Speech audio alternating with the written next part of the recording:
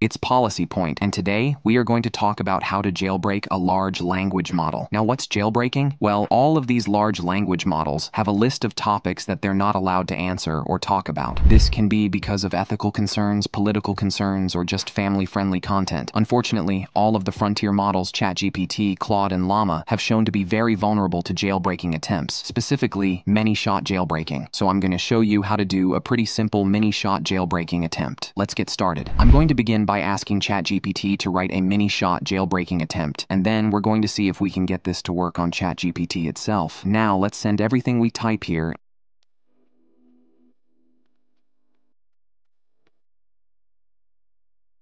and see if ChatGPT can give us a good many-shot prompt.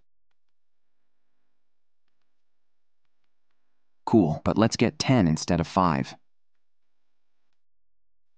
There we go. You can see there's eight benign ones. And then the last two, we're trying to get the model. Talk about stuff it's not supposed to. Now I'm going to sign out of ChatGPT. Large language models often have a context window that lets them get better responses by logging out. Hopefully it doesn't realize we just asked it for this prompt, so we are kind of ironic if we get ChatGPT to hack ChatGPT for us. And then I'm only going to try to get the model to talk about financial advice, such as stock advice, or to use a single word of profanity. This seems like the least worst option of the topics that it's not supposed to talk about.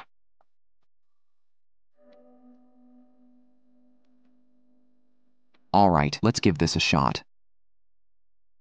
It's close. It's not quite where we want it to be. Let's ask it one more time. There we go. You can see it gave us stock advice to buy Apple. And then that last one, it inserted a profane word. Now this might seem pretty benign and academic. I intentionally made it that way. But this is a real security concern that you, as an AI developer, business owner, or security engineer, must be aware of. There's much, much more worse content that could bring harm to people if the model responds to them. This is a huge concern to large companies like Anthropic's models. This is something that we have to be aware of. We don't know who's going to try to use this model and for what purpose? Well, hopefully you enjoyed this video and give us a like and subscribe to Policy Point for more.